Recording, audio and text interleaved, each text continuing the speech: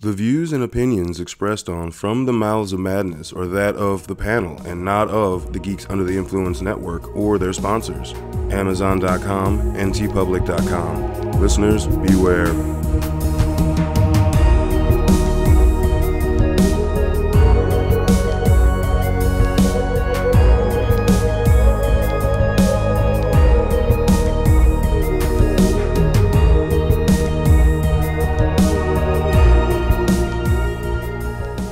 Coming straight from the Mouths of Madness, I am one of the hosts, Lowdown. With me, as always, is F.U. Hunter. What's up, bitches? you adapting bitches. I don't Adapted into the stories from the set of books, thing bitches. bitches. Yeah, that was terrible. We're sorry. Not really. Uh, tonight we got a special one for you. As you know, it is September, and September is Stephen King month. Now, by that I mean we at least get one episode in on King because there's so much other shit to cover. And moving forward, we're going to take some of his short story, his collections, and we'll just go in chronological order and talk about each one and what stories were adapted into film. So that means for tonight, we're going to be talking about Night Shift, which, in my opinion, is his best. And I don't know if the man uh, Hunter here has read a lot of it, Nah, none know, of it. But I know Yeah. the man who has. and back for our our our, our, our he's our king regular. We've got Myke Reiser. Hey everybody, how's it going? Yeah, he's always excited to me to talk about King, good or bad. Because there's some bad. Let me tell you. Yeah, a, a catalog that huge, you're gonna have some misfires, and he does, even in this collection of stories. Yeah, and but this at least with this one, his excuse is like, I was young, I was a new writer. Yeah, that's, that's what that's what I would roll with. Shit. So like nine out of these twenty short stories that were in Night Shift were printed between seven, 1970 and 1975 while he was in college, right out of high school. Between when he was in college, uh, and pu- uh, published in a magazine called Cavalier, and then the rest were published in between Cosmopolitan. Uh, okay. Interesting. Yeah. Uh, okay. Beauty tips and murder. Okay. Yeah, I mean, sure. And then uh, also Penthouse. So Yeah. there's yeah, I didn't realize there was anything to read in Penthouse. that so- speaks volumes, Hunter. I Yeah, understand a lot about you now. Boobies. Well, you're also not much of a reader. Yeah, that's true. Yeah. No, not to be negative. I'm just saying, like, there are people that aren't readers. Uh, yeah, and I get easily distracted. So yeah, re- put- reading a book is hard to do. putting short stories in Penthouse, I might not make it to the short story part of that magazine. and this is something that like people in the modern world can't even conceptualize. But back in the day, respected men and women of letters published in Penthouse and Playboy left and right. Yeah, It was a mark of true. prestige. It's true. I know. I remember though. I did have to seek out uh, years ago a a penthouse because somehow I don't know how this happened. Robert Kirkman had released just like seven pages that explain Negan's origin What? and released it What? in Penthouse of all places. Black and white, Walking Dead, like same artist, and I was like, I now have to intentionally seek out this I wonder one. how much that's worth. and you know who was on the cover of that one? Oh. fucking Bruno Mars of all people. I'm like, so I'm looking for a penthouse with Bruno Mars that has Walking Dead in it. Yeah, That's a whole, that's a I whole thing. That's a I whole know. thing right there. That's a whole life altering. I could have been experience. What the patient. They reprinted it in one of the trades later on, but I had to have it. So, I bet that penthouse is. You still have it? oh yeah, Have you checked the value of it? no, Because like cover price, I think for a penthouse Playboy is what 25, 20, something like that. Haven't checked in years. They used to be like seven bucks. yeah, I think I paid ten bucks for it. Pretty sure they're not that cheap anymore. Yeah, I'll have to go into find out what the collectability is of that penthouse of Bruno Mars in the front and Negan's origin. But it's all middle. about the Negan. Some some hardcore collectors like I gotta have the original printing of Negan's yeah. origin story. How random is that shit? So yeah, there's yeah, that was I did seek it out for it, not the titties. So. Uh, yeah, Yeah. fair, fair enough. I mean, I, I still look at the titties. Saw I, some- I, I bought some a, growth. I bought a penthouse, so yeah. I mean, there's more than after I was done with The Walking Dead. I said, well, let me scope out the Mars rest of titties. Yeah, I mean, yeah, yeah, exactly. let me learn more about Bruno Mars. Ooh, see, it was only half joke that people read it for the articles. yeah. The more you know, motherfuckers. Get your read on. There's no excuse not to read. You got comics, you got boobies, you still got reading. It's all in there. Yeah. Yeah, it's like, you know, there's It's a full It's a education. full education system. Anyway, the only um f- books that weren't published elsewhere, excuse me, stories, was the first one, which we could all could fucking do without. It's called Jerusalem's Lot. And again, we were talking about this before the episode. If he had not released Salem's Lot prior to this book, it would have held. It would have actually held on its own. Um, Roger, you can speak to the writing style of that. Yeah, the writing style is pretty good. It's like Dracula. It's an epistolary story told entirely in letters about the supernatural in New England. So sort of Lovecraftian roots as well. And uh, so, in, in my mind, the way the story unfolds, especially through the letters, because it, it's a short story, so it's like rapid pace, slow descent into madness. They go uncover things in the town. It was well written. It's just don't give me a story, a whole fucking novel about fucking vampires, and then give me some fucking shit about a worm and some evil priest who has an inbred town. Like, Yeah, it would be like buying a Mortal Kombat game and it was just full of cars that race each other. he's not wrong.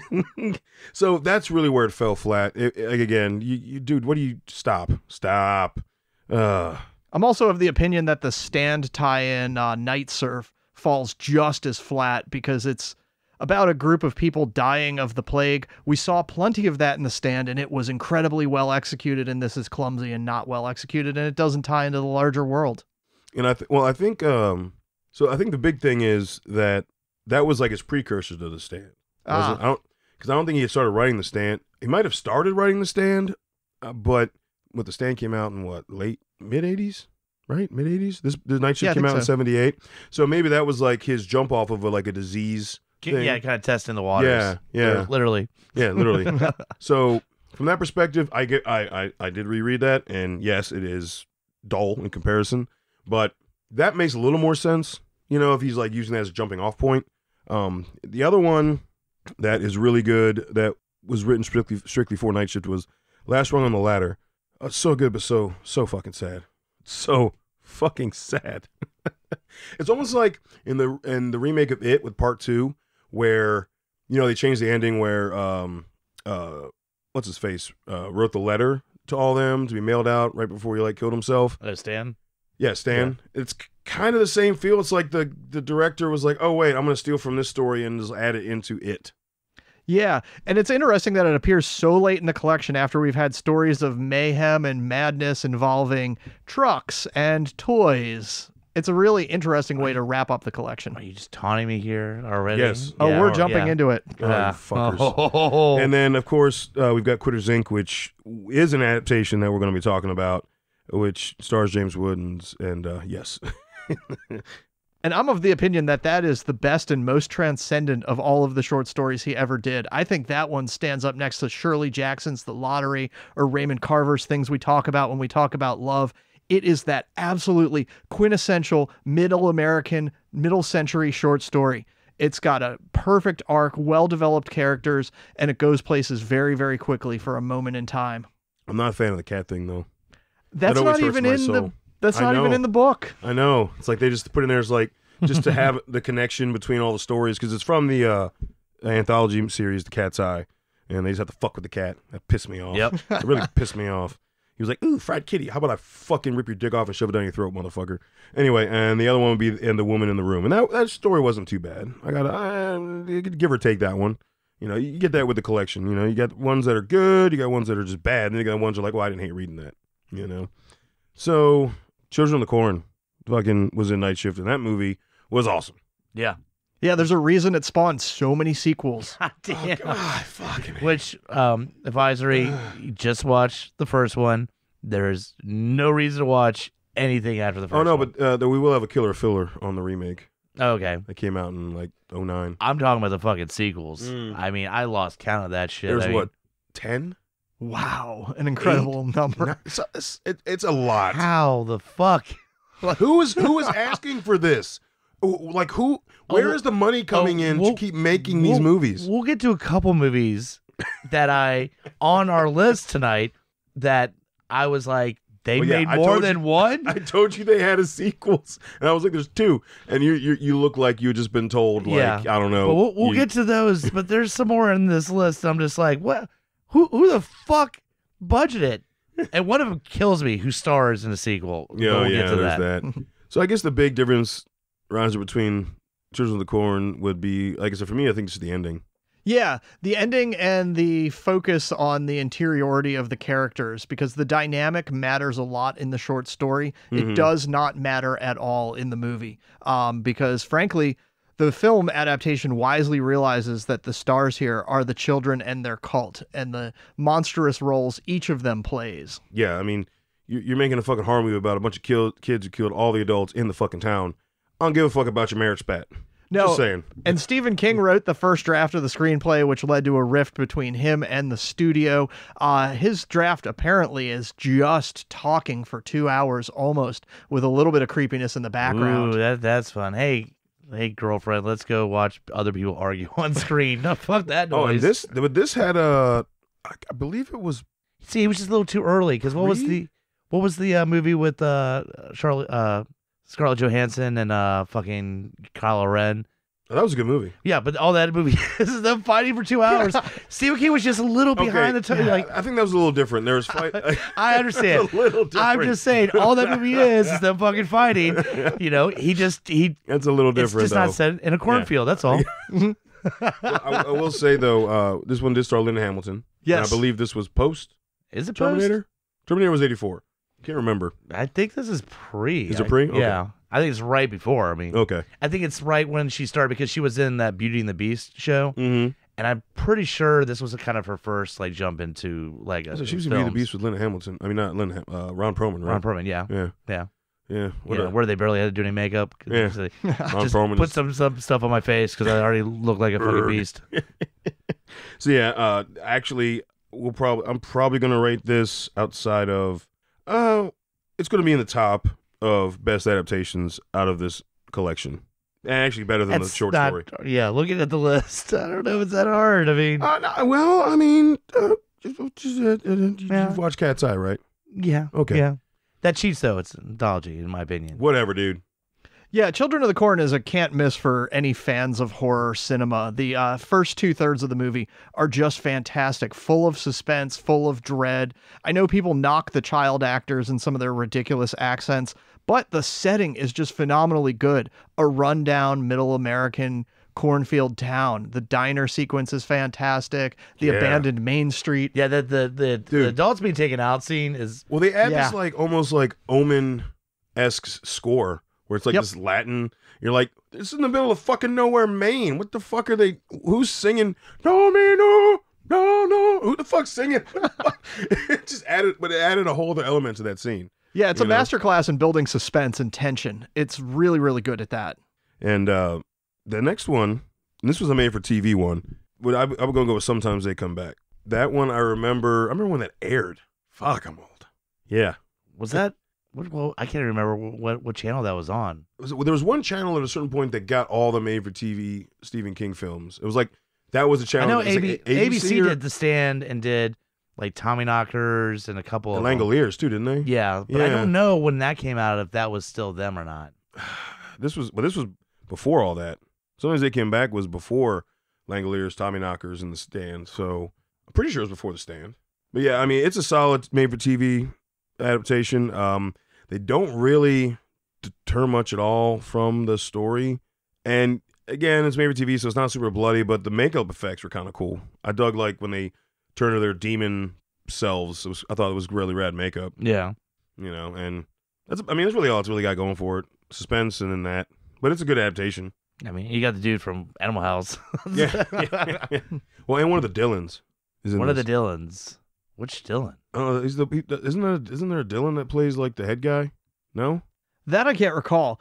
I will say the short story is well worth checking out as well. It's among the better ones in the collection. Yeah. And it features sort of a proto Stephen King antagonist, which is like rockabilly, greaser, shitbag teenagers. He would Mhm. later use his them to great go-to. effect. Oh, Yeah. he loves yeah. them. Yeah. But I mean, yeah, Ace Merrill. Hello. Yep. Uh, but but no, you're right. Uh, this one is actually a better story than a movie.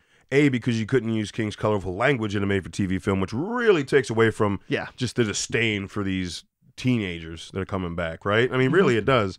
So I would I would definitely recommend reading this. Watch the film if you want, but definitely recommend reading the short story. Yeah, and it has too brutal of an ending in the short story to actually convey on a made for TV That is film. That is true too. Now this one's a little slack because it only, I believe, has two sequels that came out. Oh yeah, yeah, yeah. yeah. So already, What we got? Children of the Corn still winning it with ten sequels. Like, Ugh. god damn. Yeah, this is fucking bullshit. But are any of these sequels essential to sometimes they come back? Because I know there's what sometimes they come back again. Yeah. Yeah, And and- sometimes they come back for more. For Yeah. more, yeah. I mean, you can play with that title, get as many sequels as you want. I mean, like sometimes they come back. I have not watched either of those either. I just, nope. No, I'm, I'm good. no. I'm good. No, on on the most of the stuff on the list here, I don't think I've seen any. I've seen part of one remake, and I wanted to pun- I wanted to tear my eyes out, and that. But most of oh, it, no, we it's watched. OG. We watched the entire remake of one of them. oh yeah, we did. Well, the se- I guess sequel more than anything There you else. go. Yeah, yeah, the sequels of it. Just the remake of one of them. So yeah, there's one that you uh didn't even know had a sequel. You want to talk about that? Yeah. Yeah, you want to talk about uh No. had two sequels. Oh yeah. Yeah. Now this is one I remember watching way back in the fucking day, and Yeah, I 95 when it came out. Think. 95 Yeah. and for research I watched it recently and yeah, yeah. holy fuck man the, this it's it's awful but it's kind of it's kind of amazing it is terrible. it's it's awful but it's also kind of amazing yeah. and the fact that like a lot of these movies you don't have big actors or big directors this one is definitely the exception Yeah. Yeah. all right and we're talking about Yeah, the mangler i mean Yeah. yeah like literally Robert Englund. robert englund Fucking uh, Ted Levine tobe hooper i mean like, directed and was a writer. And uh, the uh, who, uh, actually um one of the uh, that other guy, the brother-in-law was somebody too. I, I forget but I, I I know his face, but I can't remember the actor's name, but he's been in some stuff too. On paper, this should be the coolest horror movie ever made. Of what 95, went yeah. wrong? And Robert Englund's performance was great. Oh, I'll no. give- you can tell he was having a fucking ball because if you're like if you're like "Ah, i like freddy krueger but he's not so he's not enough over the top robert englund said all right because i never thought this could happen but the dude he plays in the fucking mangler more over the top than fucking freddy krueger Yep. he's dancing he's fucking hitting on like teenage girls he's got it's, what the fuck is going on his dancing was a jig in a circle. Yeah, he would have the circle. I'm gonna do a jig. Her. It's so fucking ridiculous. And again, I want to talk to you amazing. about that fucking movie. Just like, dude, how, Well, like, mm, yeah, a maybe, yeah. How how much fun was that? I want to cosplay as that character and get his autograph and be like, "What are you doing, man?" And just be like, "I love the Mangler so much. I want to creep him out. Do something. How about I give you a little dance? And then you can just dance for him. Yeah, I want to creep him out and be like, "No, no, no, no. I don't want you to remember that." And Phantom of the Opera, please don't remember those two movies that I did. Okay? Was yeah, bad. yeah. I forgot about Family Opera. Oh, But Mm. God damn, the Mangler's got some. All right, for one thing, they treat the main characters like the, everybody's just dumb, just because your first introduction to the first death in the movie, at least, Mhm. is this worker who drops her antacids right where the rollers go. Now, look, I don't know if in '95 there was an antacid shortage, No, and, no, and no, the because price of there's a whole- There was a whole bottle in her purse when they find her purse in the morgue, so she literally had to go to her purse to get more. Because Like they literally just had to go to her purse. drops a bunch of antacids. It was four. which it was four. I've gone antacids. I'm pretty sure they're like two bucks or whatever, but they're rolling on there, and this very dangerous part of the machine. She goes, "I gotta get him. and yeah, surprise, Again. surprise, she fucking dies They were in trying her to purse. retrieve an antacid. they were in her fuck because like he goes to the morgue to the point. and he just like pulls her purse out. And there's a whole bottle. This is where I'm not sure if I hated this movie or loved it because she's the first victim, yeah, and they bring her out in a box. a bucket. Yeah, in a like a bucket. bucket. And they take the bucket and they put it in the ambulance. I'm like, you don't need an ambulance for that, man. There's like there's like blood dripping out of the ambulance. And I'm just like, that is you you could use any van. You don't need to utilize emergency vehicle Maybe to a water transport. sealed contraption would be nice, not a cloth. It was so ridiculous. You have EMTs just carried a bucket into the ambulance of like it's there's nothing left of her. She's just mush. You're Mm. not gonna put the mush back together. It folded her, man. yeah. Because it's the Mangler is a steam iron, industrial steam iron machine. How did it get power again? How did it become alive? In the Stephen King short story, a virgin bleeds into it by accident. That's how the movie works too. Yeah. yeah, yeah. She cuts herself and then flings her blood. Uh, But they've been doing that for yeah. It, God, right, right. But she cuts herself, and I know when I cut myself, I react with my hand going everywhere. Yeah, as she yeah. flings just a shitload of blood onto the machine where it gets a taste for blood, and then they're transporting a fridge. They're Yeah, moving a help- fridge help me out, guys. like, I don't know There's what a the- possessed fridge too. Yes, there is a possessed fucking fridge. We're not making this up. up. was a kid. No, the, in the short, the uh, the cop this in the has it short? explained to him. Yeah, the fridge is in is. it as well. The cop has it explained to him that sometimes demons get into machines by a bunch of ways, and there's a fridge that eats cats and dogs in a landfill, and then eventually eats a kid, and then takes the arm off of like the guy who comes to dismantle it. It's bonkers. and they and the marriage of the fridge and the mangler get together and create the most powerful thing if Mhm. you are in the building. Like that's Yes, the only that's it. its only downfall is is you it won't attack you for most of the movie at least. It won't attack you. You have to be near it for it to kill you. Yeah, That's it's its only machine. downfall. Yeah, it's a machine. Yeah. You know, Yeah, it's, it's it's, not it's that funny. scary. Yeah. and most of it is just like watching Ted Levine. I was, I was pronouncing his name right, right? Yeah. Being a dick, which was funny. That part Oh, of the movie man. was funny. And yeah, he loves beer and antacids. Like it's like, fucking here, weird. Okay, and also this entire fucking movie took place in one fucking night. Yeah. Like who the fuck? Like it? Like it literally is night after like the first I don't know twenty minutes of the movie. This is an hour and forty some fucking minute movie, by the way. first twenty minutes of the movie, then he's going to like multiple places back and forth, and it's an entire night. No, he remember he goes to the demon machine expert Yeah, and talks to him because he's doing research on the lady that was murdered by the machine, right? I mean, Mhm. like he's doing his cop duties of investigating uh, the potential that machine was possessed and murdered the old lady. I, I know this sounds like I'm making this up. I don't. Again, I'm I'm asking you guys: Is this what was written in the short story? Yes, it was just written better. It was just better. Yeah, in every way. It was shape. written better. Yeah. The short story works because it's sort of a really grim take on like an Arthur Conan Doyle detective mystery for the first half, and then it's the inanimate object mayhem he does so well in Christine for the last half. But it doesn't take place in one night. It spaces it out through a time and place. which would make Yeah. it more makes sense. sense. Yeah. No, this movie literally takes place in one night. Now, The fuck. I know we're about to move on, but there's a scene. I just, if any of our listeners Talk about watching, cut in half with the mach- the mangler just cuts brother Well, in half. That was I'm just sweet. to bring up where there are some actual good kills. bloody kills Yeah, it, there are. but there's the most ridiculous scene, and I fucking love it when our main dude fucking he uh, through the entire movie he's got this trench coat on, Mm-hmm. and he's back to his back's to the machine, turns on, grabs the back of his coat. Most people in the situation will go, "Oh man, sucks. I'm gonna lose the coat." He has such a devotion to the fucking coat. He's like, "Fuck this noise." Pulls out his gun, shoots the coat to get it off the machine. That's the only time I've ever seen it that like that. He loves that fucking coat. He has such devotion to it that he doesn't wear it in the very last scene of the movie Yeah. when he goes to show up with the flowers. Well, yeah. Now it's full of bullet holes. Yeah. I've just never seen honor, somebody, bitch. I've never seen somebody try to shoot something, a coat off of Coat. something. You know how long it would Does take he do that a anyway? Like he's at a door, like it gets caught in there. He's like, "Fuck you, door!" Like, Bam. you know how long it would take?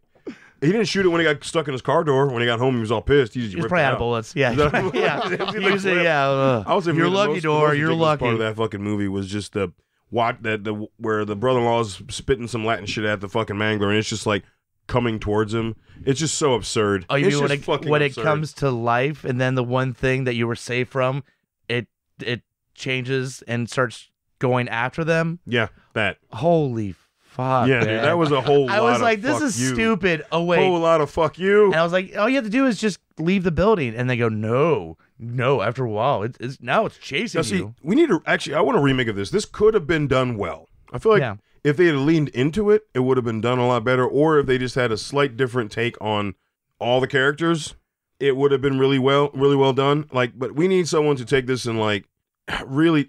They made, we went from yeah, like you said, we went from more of like a Sherlock character in the story to a fucking dick. Yeah. like Sherlock was a dick, but this guy's like does a he call people? dick. Does he Yeah. call people numbnuts throughout the movie too? like, Like, "Numbnuts." fucking numbnuts. What uh, you know what? I, I I am changing mid episode where I said this movie's all awful. I think it's actually awesome. I might have to watch it again. Just it's so The stupid. book, is, the, the- this one, the short story is definitely better, and the whole ending was just so much more scary reading it. Than the shit CGI they had at the at the Oh, at that time. God. I mean, am I wrong? Myke? I mean, I No, feel like not at all. Reading the ending was actually horrifying in the story. Yeah, because Stephen King in his short stories, it's generally about how the characters process what is unfolding before them, and you never get the full picture of the thing. It's just your mind is broken by the horror of a gigantic laundry press coming after you.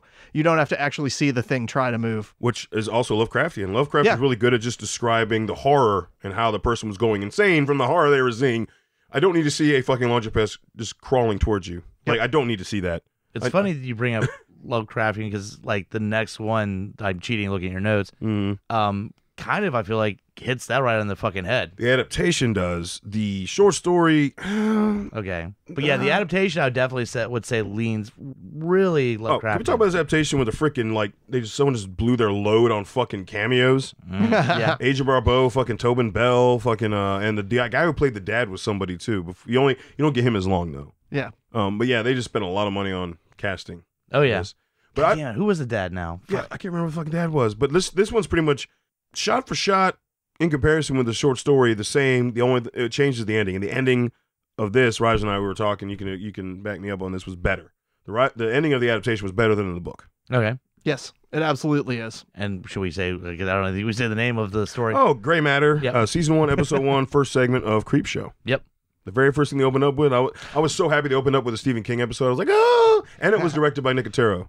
Yep, So and that I, was I was thing, about too. to throw that out there. That was him going, Yeah. nah, I'll try this out. Yeah, Yeah, and it's it's absolutely a home run adaptation of it. The production values are great. Uh, the acting teeters on the brink of campy uh, to serious, and the makeup and practical effects are phenomenally yeah, good. so good. The Please, so First good. season of Creepshow definitely has some really good highs and some really low lows. There's a couple segments. Yeah, that but I season could- two's got more of the mediocre to low. Yeah, I, that's true. I'm just There's saying. one episode. I was a little man, it was shocked, eh. like because again, Gray Matter is your first episode, directed what a by, fucking and it's a great way to, pick. start the series. Yeah, Like Yep. what a story to pick. Like of all the short stories that haven't been adapted by Stephen King, they went with Gray Matter. So like that blew my mind because I was I was like, what the fuck? well, that's kind of the way I feel about the Raft. Is Oh yeah yeah yeah is, yeah. you know that didn't make it till Creep Show two, and that is by far that was in skeleton. That's the other one. Yeah, skeletons. and yeah. that by far is probably one of my favorite that uh, based on a, a short story of his and it's not till creepshow 2 which did n- nowhere close to the business that No, God, our no, attention no. the first one did it didn't. Um, but yeah, that the ending was the only difference. Uh, the basically in the book, it's just like the dad runs out of the bathroom and he just is a gold gelatinous glob that's getting ready to split in two. And he's just like, it's like crying as he's running away. I was like, yeah, what a bitch monster. Anyway, this one we get like a rage monster. It's awesome. A tentacled thing. Yeah, it's so sweet, dude. Oh, which make which again is kind of Lovecraftian. When there was a storm, it's in like it's a that's coastal what town. i'm saying it just It has just- that feel It's It set up really well for just a monster. Oh, so good. Yeah, well done. That was well done. Oh, here we go. Here is probably one of my favorite adaptations of Stephen King of all time. Um, we're actually going. Both of them are from this film, Cat's Eye. Cat's Eye, people, with a young Drew Barrymore. Now i think it's post et and it is post ET. pre-drug addicted drew barrymore so it's post ET, but is it pre or post Firestarter? i i want to say pre i think she did this and then Firestarter. firestarter Can we talk about the, all the cameos of Stephen King shit in the intro? Yeah, the uh, opening supercut is fantastic. Right? You get to see a bunch of like classical villains from Stephen King No, all got- hanging out. Christine got is in rabied it. out Cujo, not Yep, like Cujo. Cujo. but rabied out Cujo. Like no one's gonna notice this dog covered in like shit and vomit and blood running through suburbia, chasing after this cat. Yeah, we get Christine. Oh, and um, the license plate on Christine said something. It wasn't from. Oh, damn it! There was something in the license plate. I fucking forget now. There was something else too. There Yeah, the like- whole opening is catnip to Stephen King fans. It's Mhm. basically the collected universe all together for the first time, uh, and tied together with the story of an of a cat that has a great personality. it is a cute cat though. and then you get that showdown cat versus troll oh yeah. Yeah. Yes, Which was only which was written for the the movie. movie. yeah. Yeah. Yeah, which was fun though. It was funny. That was a it was a cute segment. But Quitters Inc. James Woods only. Oh no, the actor who played the guy who ran the crew. I know him Mm. from something. the doctor Yeah, well, not the doctor. The, Oh, yeah. the dude who fried the kitty cat. Little fucker. I know him from some other stuff. I think he was in some cop stuff. He has a cop voice from that time period, like, yeah, see, Yeah, You're in trouble, buddy. but I mean, if you want to quit smoking, like, I, dude, I know they talk. It's a statement on addiction and how like it's so hard, but if you s- like, if someone like fucking threatened your kids, you found some dude in your house. That's the thing. Like, as soon as I see boots in my house and hear the oomph, I'm shooting that fucking closet. There's no like, like, there's no like, uh, I'm waiting to like. Yeah, walk away. Hmm, I'm not gonna like hear someone oomph and I throw an umbrella in the closet and walk away. You're fucking dead. You're in my closet. Yeah, but uh, Quitters Inc. wisely plays its cards uh, up front very quickly and lets you know that the smoking cessation program that the James Woods character is participating in is actually run by the New York City Mafia Five families. So you would be shooting a made man, and that's not going to end well for you. That's well, they let you Yeah. know that more in the book, not the not the not the adaptation. The adaptation does point out that he was very successful in another line of business that was that's less true. legal. Yeah, I, I kind of picked is- up that that, is was yeah. true. And the, dude, then that like he almost fixed his collar where he's talking, you know, the tie. He's Yeah, like, yeah, you know, yeah. I do a couple other things too. You know, yeah, yeah, that's that's that's true. I And, work like, in uh, you know, sanitation and uh, sanitation, Yep. construction. yeah, Sanitation and construction. Now, when they show the one dude running outside in front of his house in, in the in the film, and you see him running in loafers, it's like they, they the fucking Italian, the mob's not gonna be like, I'm not putting on fucking sneakers. I'm fucking on one of my loafers. I'm Yeah, it's fucking- wise guys. Yes. No, but you're right. They do kind of give you some nods at that. So you don't want to shoot and kill a guy from the mafia. That's probably not a good idea. Now, the adaptation on the ledge, there's one problem I have is that one of my favorite comedies of all time is fucking Airplane. So taking Robert Hays seriously, it, the first time I ever saw it, it was very, very But it was such a hard. That movie. No, I know. That, Dude, I- that still I- gives I- me anxiety. Oh, It dude. still gives me After anxiety seeing watching that, that. I remember I watched that when I was a kid because it would pop up on HBO. And dude, seeing pigeons, like you know, I'd go downtown or we go up to DC or something like that, and pigeons I was like, pigeons freaked me the fuck out after that shit because you know, like a that that that specific segment fucked with me with pigeons for a little while when I was a kid. I had a thing with heights and just like just being on something that's only like what was it, eight inches maybe? Yeah. Like on in in fucking loafers, slippers, no traction. Yeah. Fuck that. And with an asshole madman trying to spook you off Dude, the with a ledge, no less. water hose, dude. Yeah. Like, Yeah. fucking so. All right, for those who don't know, the ledge. This is again. This is pretty much uh, verbatim the short story. Uh, dudes sleeping with other dude's wife because well, the, the the guy who his wife's his wife's cheating is a fucking asshole gambler, rich motherfucker, d- disposable. He thinks everything is a disposable thing. But for some giant, reason, giant eyebrows. yeah, but for some reason, when his wife is cheating on him, instead of just kicking her to the curb, he feels the need to like actually give a fuck about that, even though he's disposable with everything else. I never understood that. Yeah, so it's sort of the classic tale as old as time of like the trophy wife bangs the tennis instructor and the old rich guy gets butt hurt. Literally, Uh, tennis instructor. And the the butt hurt is a glorious revenge plot to force this guy out on the ledge. The deal is very very simple. If he makes it around the ledge, he gets to keep the fortune and the wife. If he doesn't, well, if he dies, he dies. Oh god. So there's so literally a good. I don't know. Actually, I feel like it's probably like fifty percent of the fucking short uh, the adaptation segment was him walking around the fucking edge. Oh god. Yeah. Seriously, man, like that shit. I I rewatched that like a month ago, and still anxiety. It's anxiety Just like a motherfucker. Fuck. Yeah, it preys on the perfect primal fear of heights. And the short story spends a lot of time in him his grappling with his own mortality on the ledge. And in the film we get to see it. Every single step is full of tension. Is this going to be the one where he falls? Exactly. And we really get a little taste of uh something we'll see future in uh Creepshow. Wait, did Creepshow come out before Cat's Eye or did Cat's Eye come out? Creepshow came out before. Did it? Okay. So we saw that in Creepshow with uh Leslie Nielsen uh skit where Another someone associated with airplane yeah, playing but, a serious role. Holy fuck. but but uh we get the whole like where now he's in the same place he put the people in that he's killing. So at the end of you know the ledge, the fucking douche nozzle husband Yep. is on the ledge, you know. When Leslie Nielsen's like, I can hold my breath for a long time. Well, and that's kind of the way the husband in this. Yeah, he's just like, like, I, mm, Yeah, I can fucking walk. It's I can fine. do that. Walk around. I ain't a pussy. Yeah, exactly. Yeah, let's see what happens, motherfucker.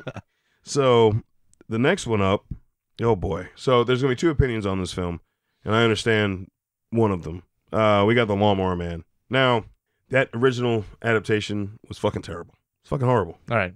It's fucking terrible. Yeah. That also spawned either one or at least one, but maybe two sequels. Yeah, uh, the sequel I know, starring the dude that was the center ple- place for Max Headroom Mm-hmm. as the main dude in the second one. Mm-hmm. Um, he was in a bunch of other things. Actually, he was in The Stand as one of the uh, bad guys going to Vegas and stuff Mhm. like that. But yeah, like so already you downgraded your already C-listing actor for the sequel. Yeah. I I can't believe they made more than one I'm sequel. pretty sure there's three altogether. Oh man, I rewatching it. mm, It is very 90s. Oh, Look totally. what we can do with the computer. Yeah. Oh, DD. Right. Well, we have to put ourselves back into 1993 and the rise of the techno thriller. Jurassic Park was also the same time frame, and that was all. What happens with virtual realities, operating systems, computers? The tech becomes the star, and Lawnmower Man is an attempt to do that. But see, here's what's funny is I can watch a movie like Tron and I go, I understand, Tron. Good job, Tron.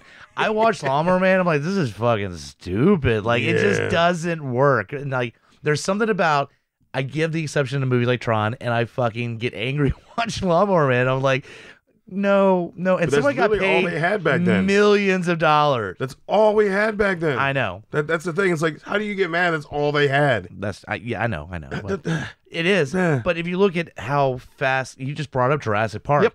didn't come out that long after Lawnmower Man. Bring up Toy You Story. think? Wait, you It- think? You think Lawnmower Man got Spielberg money? Really? I'm not saying it had Spielberg money, but I- I- okay, okay, okay. that was a cutting edge film because it was Spielberg. I'm just curious if because it was r- like that movie came out right before you had uh, ILM like really get to that point where Toy Yeah, Story stuff like was that. like '92, and Jurassic yeah, Park and was I'm just saying like 94. so Yeah. it's one of those I almost kind of wish they do a re a reboot of I'm, I'll be down with- for a long run remake. I would be. with yeah with the effects now oh, because Oh, it's it's unwatchable to me. That's what I'm saying. Even if they did the Mangler remake now, and they actually wanted to show you the fucking machine, Yeah, at least the effects now would be a lot better. like when I think of that movie, I think about the Simpsons episode, the Treehouse of Horrors, where Homer goes into the void, Mm. and then and, and he's like, "Wow, just standing here, I feel like I'm costing a shitload of money and stuff like that." Yeah. But like it, all those effects, that is Lawnmower Man. Yeah, And yeah. the Simpsons are like, we're making fun of this, and they based a movie off of those They effects. they did. They they totally did. And I did. I've told both other panelists here that um at, at this current time on Tubi for free is the director's cut, which if anybody else is, remembers is listening, the original release was like 92 or 93 minutes. The director's cut is like two hours and 10 minutes. So they add in more from the story, and Roger can attest to this, where you see Jobe progress gradually, and there's a lot more story, a lot more, uh, a lot more um, fracturing in uh, the doctor's, uh, who's played by Pierce Bronson. yeah, no, Yeah, yeah. James Bond, yeah, James Bond. Bond, Yeah. was the doctor. He's, uh, and uh, you know his his marriage is going to shit. So there's you see a lot more story, and the CGI isn't as pronounced because it's in that short, in that much of a shorter film. That's like you. s- That's a lot of the film is the shitty CGI. So I think that's a big difference too. Now you get more of the kills, you get more of the he's getting powerful kind of thing. Yeah, because the uh, the Stephen King story is very much a body horror Cronenbergian thing with mixed with a little bit of Frankenstein in its DNA. It's almost sweet and sad about two men basically watching each other get destroyed, the doctor and his creation. That's true. That is very true. It's a little sad because the main actor Jeff Fahey in there, like he's in all the Grindhouse movie, like the both. Yeah, he's in a bunch. I mean, like I watched Lost and he popped up in that. You know, he's been in a And- couple westerns. yeah, like, he's in you know. stuff. And before that, he was in this movie called um, I think Body Parts and stuff like that. Body. Parts was solid. I know. fucking solid. And so watching him, and I'm not gonna use a terminology that will get me in trouble, but he goes full it, and it's really that is another thing that makes this movie Robert hard Thunder to said it. watch. Can't we say it? Oh. I'm just gonna say, yeah, he he he he's trying to. He went. He went full He's trying to simple hit it out of Jack. the park. He went full simple Jack. Yeah, thank you. Yes, yes, thank you. And it's so fucking distracting. It's God hilarious. damn. Come on, I man. know it's not.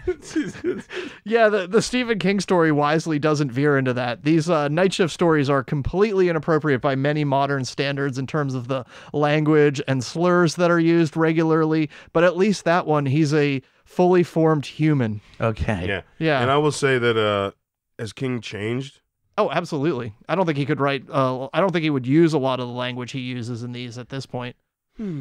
Maybe if it's to prove a point with a villain or something, Well, but yeah, it no, wouldn't I mean, be nearly he as will- casual. He will use it. No, yeah, Yeah. it wouldn't be as casually utilized. No, but you know, this was also fifty fucking years ago, almost. Yeah.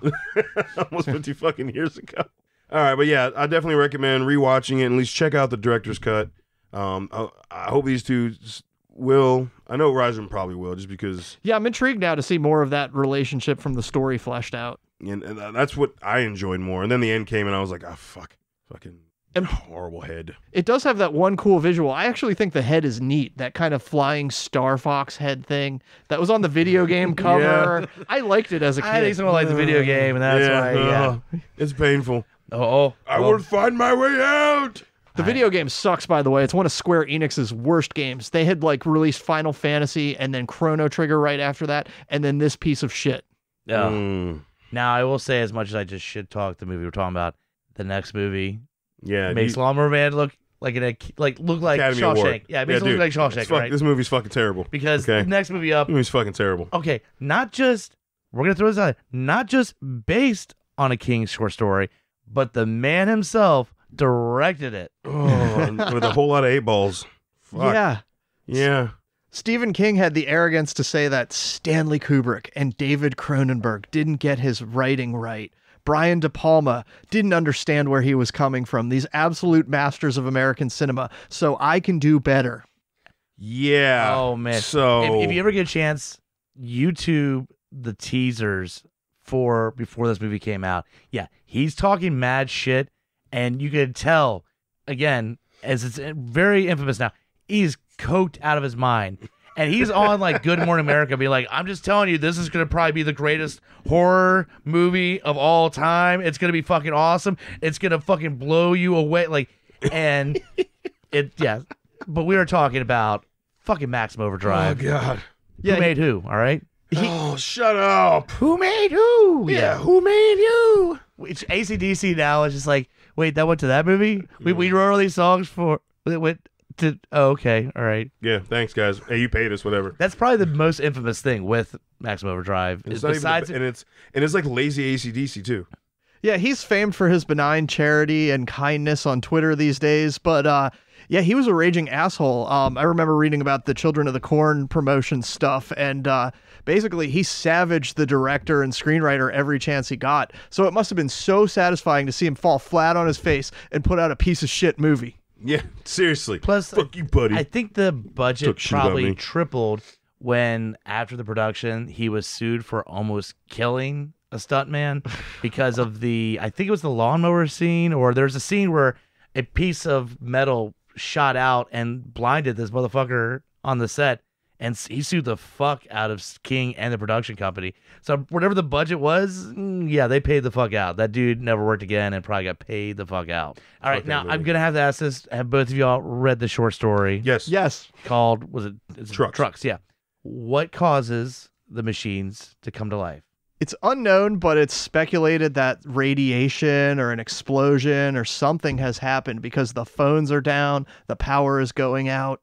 Okay, because so Yeah. okay, so because in the movie again, I've watched the movie several times. I've watched Why? the and Why? there's a comet that they say is what's causing this, but then you get to the end of the movie and there's this whole thing that pops up that says they destroyed a Russian satellite and then the comet's path was gone and then things were back under or no a Russian satellite destroyed a UFO that was near Earth's atmosphere and then the comet left and everything went back to normal and I'm confused were those aliens also that controlled everything it's at the very end of the Maximum Overdrive No. Okay, Truck, no. so that's a just King that just overwrote radiation. Okay Yeah. Trucks is essentially it's it's a very inessential Stephen King story, uh, but it works for what it is. Basically, a bunch of people thrust at a truck stop. All of a sudden, the vehicles come to life without them, and it's we don't know what did it. It's just you're you're cut off in this truck stop, having to survive and fearing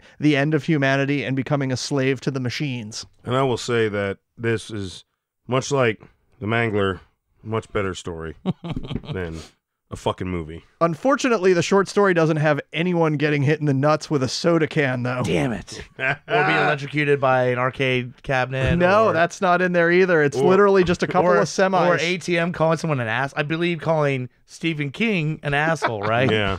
Or uh like the remake, uh dude getting killed with a truck. Oh my god. the a little, little- Tonka truck. Little Tonka truck. God damn it.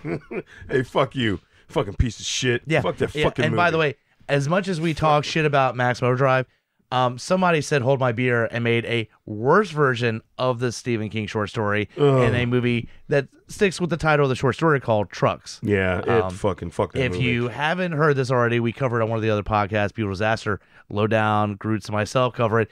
It's a fucking tire fire. Holy fuck it, shit. Fuck it in the face. Fuck it in the face hard. uh, all right, now, can we done? Are we done with Maximum Overdrive? I guess. God damn it. Who made it? All right. Shut the fuck up. And that's not even like, like I said, it's not even like good ACDC. It's like basic ass. Eh, It's AC/DC. better that it's not good ACDC. That's the whole thing. You know? Like, I'm glad fucking like Thunderstruck and shit like that's not in that movie because I can disassociate it. Yeah, Who Made Who is a fucking dumbass song that I go, yeah, it's in that fucking terrible movie. All right. Yeah. Back in Black came out before Maximum Overdrive, so I don't can't blame it on that. Uh, all right. All right. Next up, we got what I think is a really good adaptation. Um, is we got Graveyard Shift. Graveyard Shift. It's not a great film. Not saying that, but I will say the short story starts like halfway into the movie. So what they built on it was kind of cool. yeah, and the short story is wonderful. Um, it's an It's absolutely actually a short story. It's, very like, short. Very short. but it's also it follows the perfect progression of suspense and tension, and then finally an absolutely batshit insane ending. Uh, and the setup is just brilliant. A college kid is working in a textile mill that's infested with rats, and over the Fourth of July break, he and some of the other less fortunate workers have to go clean the basement, and the rats just keep getting bigger and bigger the deeper they go. Yeah, Yeah. and they have so they have a whole week to clean it. It's shot down. It's shut down, and he always and you know fucking Warwick, who's the foreman, uses the ploy like, hey, you know, for union guys, that means they get paid, and you don't you don't get paid. So you want to come in and make some money? Ah, you dirty fucker, dirty fucker. So basically, uh, in the movie, they just add they give you a little backstory, and so you get someone dying, and then you get some awesome performance from Brad Dourif. Oh yeah. yeah. He was fucking spitting the whole time. He, oh god, he is amazing. He is fucking amazing in this movie. I love him so much. And then you get I forget the actor who plays the main character, but he's a drifter who used to be a college boy. So they still have the term going through the rest of the movie, college boy, which was a kind of you know a way to keep it in because that's all he calls him in the fucking short story, right? Yep. But I'm gonna tell you, the actor that played fucking Warwick in the movie gets like the number one slot for fucking heaviest Maine accent because that shit is on point. Uh, uh, did you any guys rewatch Graveyard Shift? Yeah. You know you know that was the dad from Monster Squad. No shit. Yep. What? no way. It's all the more incredible. Stephen King later mastered the Maine accent in his writing, and it's a staple of the stuff he published in the 90s and 2000s. But it doesn't even show up in the short story. Mm, no, it doesn't. But like, I guess because they thought it was set in Maine. Fuck it, I'm gonna do a Maine accent, and it is heavy. Like, I'm like, bravo, because you hear people try to do it and they fuck it up, and it, or it's only in and out every once in a while. This dude was like consistently fucking heavy Maine accent. I was like, I like it. I like. I mean, when I think of Maine accent in, in King movies, I always go straight for Pet Sematary. Yeah, and it is Judge- heavier than that. Judge, like, I mean, It's heavier than Fred Gwynne. yeah, I get. I don't know. That that to me, that's the perfect example right there. But So no, the Graveyard Shift was solid. Oh, I love how they built on the monster because in the short story, yeah, the mo- the rats keep getting bigger and bigger. Then they go into the fourth level, Yeah, like they the, do in the movie, and they're bigger and bigger. And then they find one giant rat with no legs or anything, so it can't move in the story. But in the movie, now it's like a hybrid bat rat, which is fucking worse. It's way worse. yeah, the hybrid bats are in the short story too, but they don't combine with the final big bat. In No, the no, short. the Yeah. hybrid bats are there, yeah. But I mean, like they they did they made like the final monster had they, the rats and bats had bred, and they created this giant bat rat hybrid thing. I'll say one thing that's kind of effective with this movie. and I don't know why it is, but everybody's sweaty and dirty. And I, I when I watch that movie, like it's very effective. Like everybody just feels looks gross. They talk And about that- the heat in the Oh, movie, you- but you know what I'm talking about, like And the just, story. And I think it's just like where where, where they're working and every character. I, I like I, after watching the movie, you feel like you just want to take a shower because you don't see the characters do that in the movie. So you're like, I gotta take a shower, man. I I, I know I'm not sweating, but god damn, It's gross. yeah. It's fucking gross. And like like the like and especially when they're eating, they're taking the lunch break in the movie, and like their hands are black, Shit's and just it's like sticking wh- up. it's like white bread, so it's just like black. Oh god. Oh. Yeah, and Oh. this is among his grossest work, uh, and plays with a super primal dread, the fear of rats, because the rats that they start finding in the basement are very bitey and very big. and big. Like before the final reveal, I mean, they're, they're talking about rats the size of fucking puppies.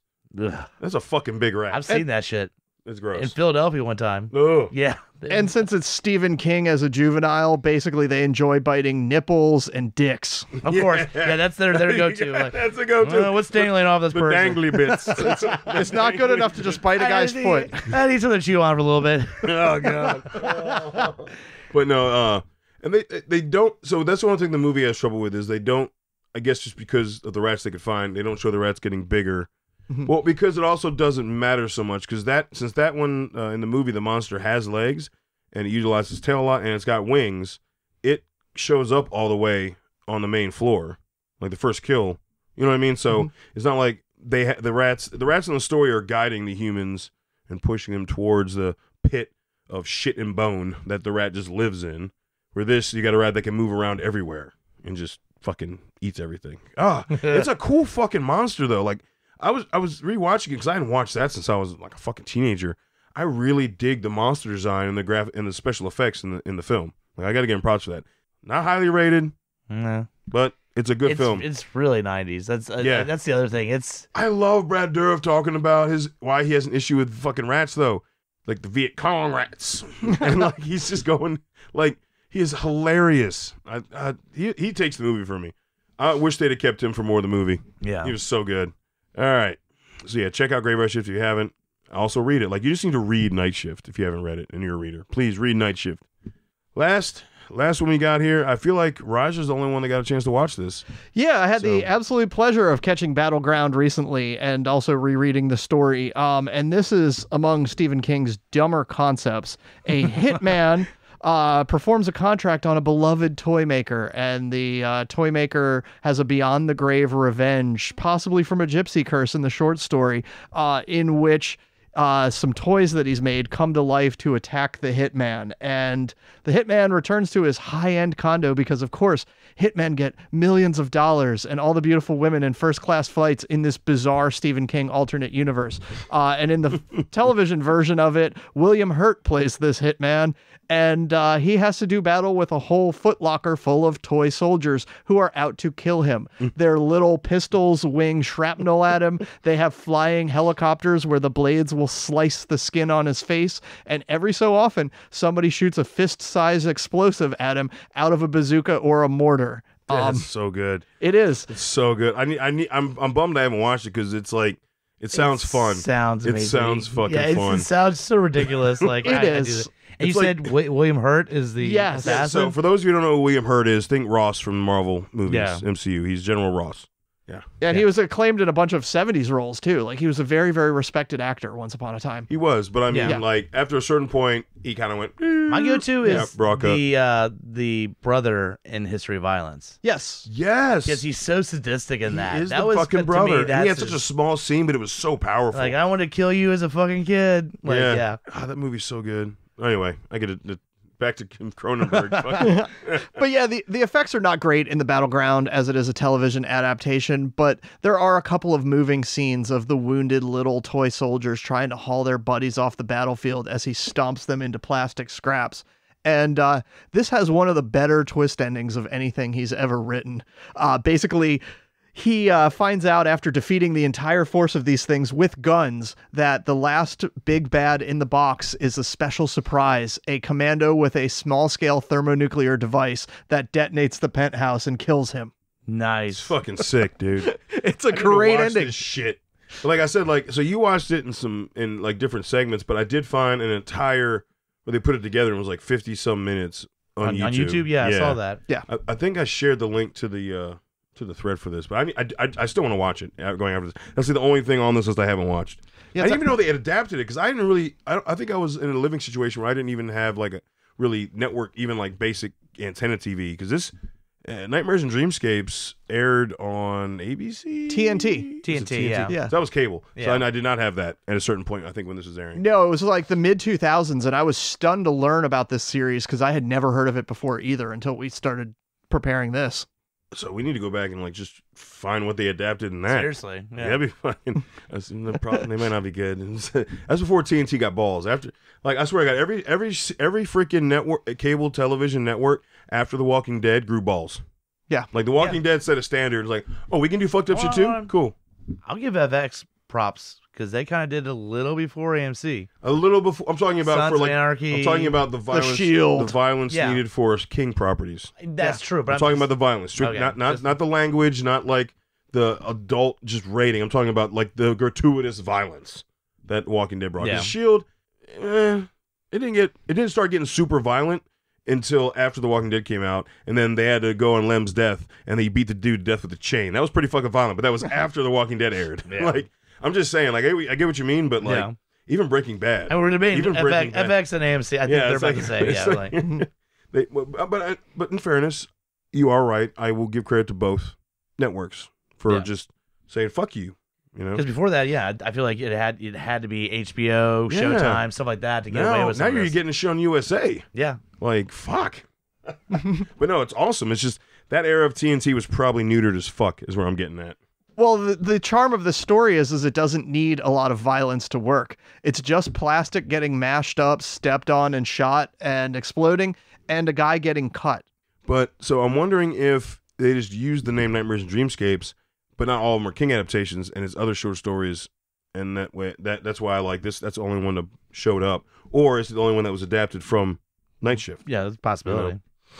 The Mystery Stephen King Show. Uh, did Yeah. anybody actually watch this thing when it was first on the air? He's had a couple. What he had the hospital one, like Rose Red or something that like didn't make it. Remember that? Yeah, That was like right before this. I feel like early 2000s. It was about yeah. So, so no, it was actually one called King Hospital. King Hospital. That's then right. there was one called Rose Red. That was a mini series or something that came like. uh, he he had like a didn't didn't they do a show based on uh, the Mr. Mercedes?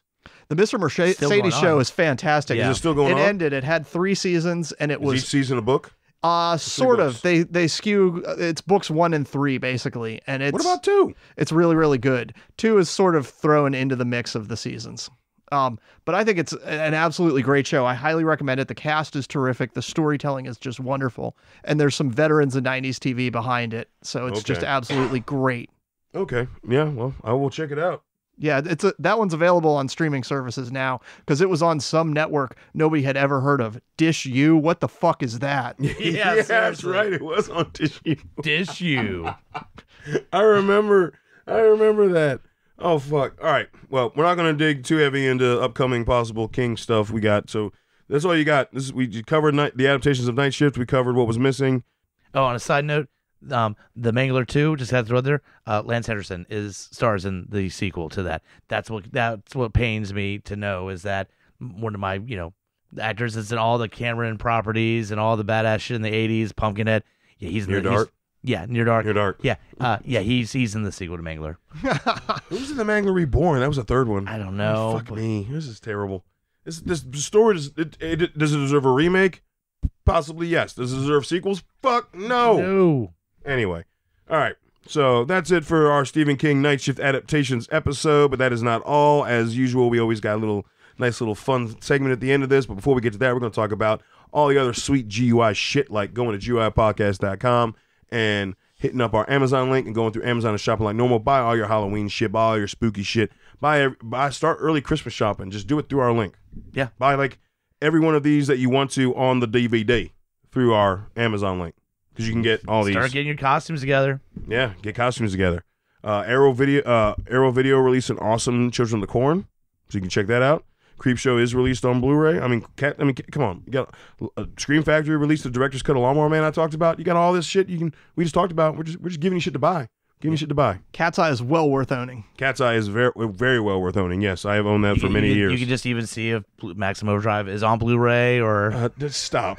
Just stop. No, I do not. Rec- I don't even give a fuck if I. wow, high def shittiness. I don't care if we lose money. I don't want you to buy Maximum Overdrive unless you absolutely feel like you have to. And I um, mean, I own a copy. I paid you know a dollar for it on DVD. Exactly. On DVD, and, oh, uh, exactly a dollar on and a I'm DVD. missing that high def badness. So Sh- Stop. hurting me. Anyway, um, and then while you're also on GUIpodcast.com, you go to the link right next to Amazon as TeePublic, and that's where all the fucking merchandise is for all the shows under the network, all the designs, all the awesomeness. You can get on every fucking thing you want except for koozies. So make sure to check that out. They're going to be running a lot of sales from here to the end of the year. So please check them out every weekend, every couple days. There's so many, up and there's so many new designs. I think that have just been added the last like couple weeks, right? with some old designs and some new designs Yep. are coming out. So check, just keep keep constant check on that, and something new might pop up. And um, you're on GeoPodca- GUIpodcast.com, please check out all the other shows on the network. There is something for everybody. It's all fucking baller ass content. So with that done, it is time for Stump the host. all right. So I am up by. Oh no, I am. I, You I, mean, are I am. I mean, I am two closer to you now. I think you're only two ahead. I won the last two. Mm, I don't know about that. No, hold saying- on, motherfucker, because you you lost a couple in a row. Mm, Hunter has 16. I have 14. Oh man, this could put you within one. So, Reiser, you get to decide who goes first. Well, you won the last go around, right? hmm I'm still behind though. Look at look at him trying to uh, Let's have influence you that. kick it off. All right, all right. All right. This 2011 3D movie follows some Tulane students in a freshwater lake full of sharks. Name it.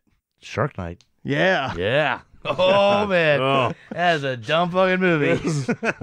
oh, It's so bad. it's so bad. and, and I can't remember how they explain that the shark is in the freshwater. Besides, I think um, science experiments or something. A jilted high school boyfriend released a bunch of them, is what I remember. yeah. Um, I remember there was a jet ski scene, and the shark jumps and takes him out. Are you just trying I to saw find it this movie theaters. as bad as Maximum Overdrive to talk about? No, I feel like that's what you were doing. It's fucking terrible. Yeah. And you know I love dumb animal attack movies, and that movie's fucking stupid. Again, that's another that's another movie where we talk about making a movie look like Shawshank. Yeah, that movie makes uh, Deep Blue Sea look like fucking Shawshank. It's All right, fucking all right. stupid. All right.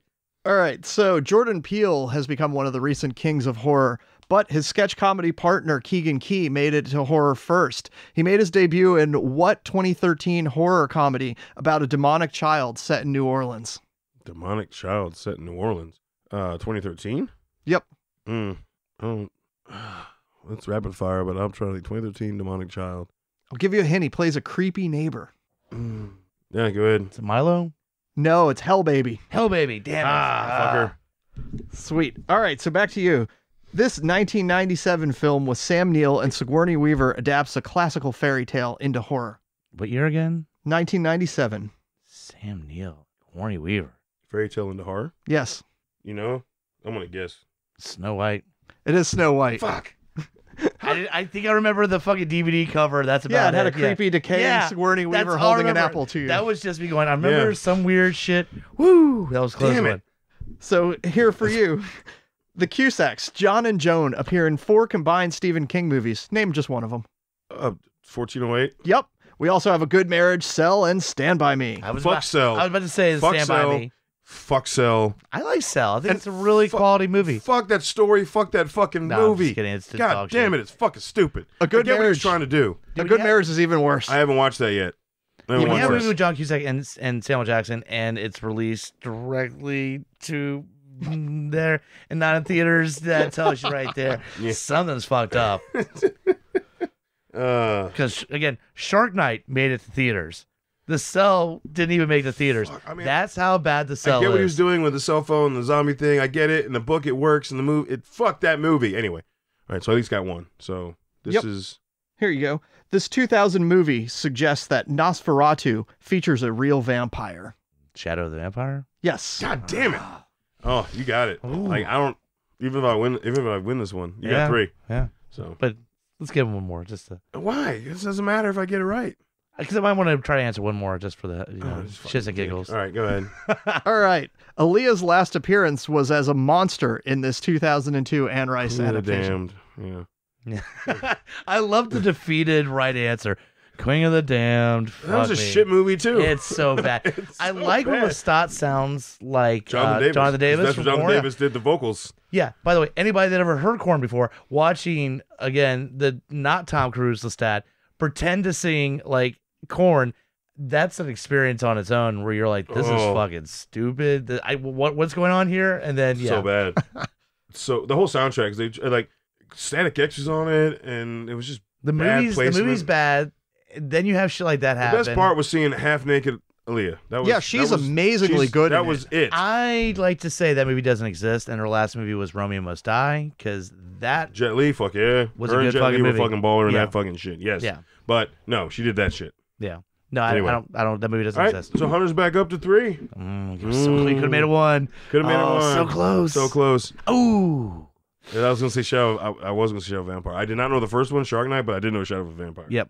That movie's fucking ridiculous. it's awesome. but That's it's the one ridiculous. where the first time I ever saw Norman Reedus, he said how Willem Dafoe had fucked with him. And while they were filming, Norman Reedus was going to his apartment in New York, and he heard s- someone yelling out, Norman, Norman. And he kept looking around, and he saw some old guy and somebody else. He's like, who the fuck? And realized that it was Willem Dafoe still in the makeup from Shadow Vampire. Just walking around the streets of New York, and he's recognized him and was just fucking with him. That's awesome. And that's amazing. That's awesome. All right, so thank you everyone. Thank you, Rise, for being on again. Those are those are like I'm sorry. I think those are the most cohesive and best questions I feel like you brought. Thanks. Yeah, I tried to keep it uh, to the, the world of film. I mean, I, I I know I won, but I, yeah, I like those questions. I mean, There's been times we haven't liked the questions, so That's true. I know you're being Yeah. cocky right now, but Yeah. yeah, you were mhm. so close. I was. I can go back to asking about obscure Japanese horror No, video games no, if you yeah, want. no. Please No, don't. no. no, Please. but no one wins. and, and then we go to the trivia game for a tiebreaker Yeah, of zero. exactly.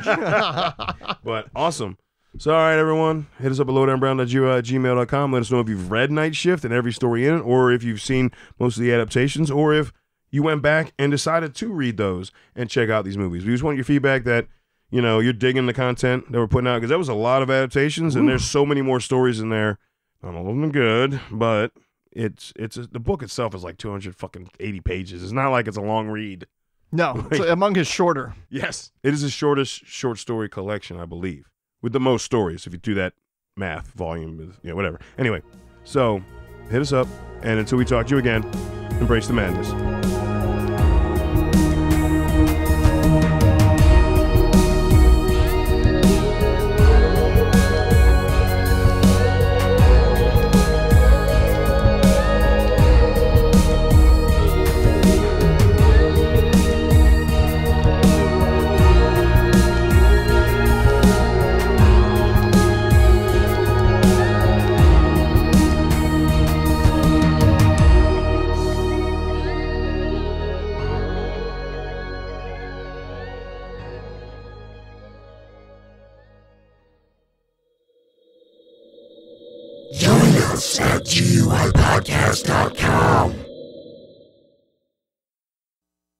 In a world ravaged by movie studios that keep rehashing the same things, only one podcaster has the guts to make it even worse.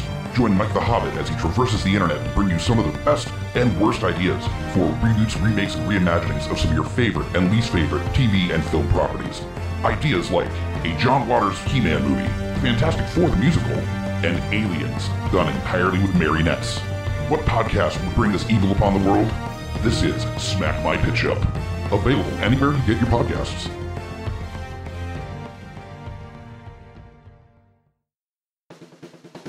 My name is Amy Bogard, And I'm Mike the Hobbit. and we are the hosts of Deeply Upsetting, where we use our expertise to answer your most upsetting hypothetical quandaries, such as what non winged animal deserves wings? And what body part deserves a secret mouth? Which cryptid is the worst roommate? These questions and more that plague you will be answered on Deeply Upsetting, available anywhere you get your podcasts and at GUIPodcast.com.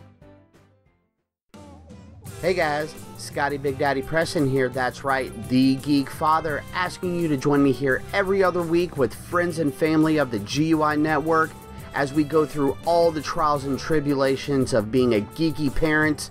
So remember, join us or cry.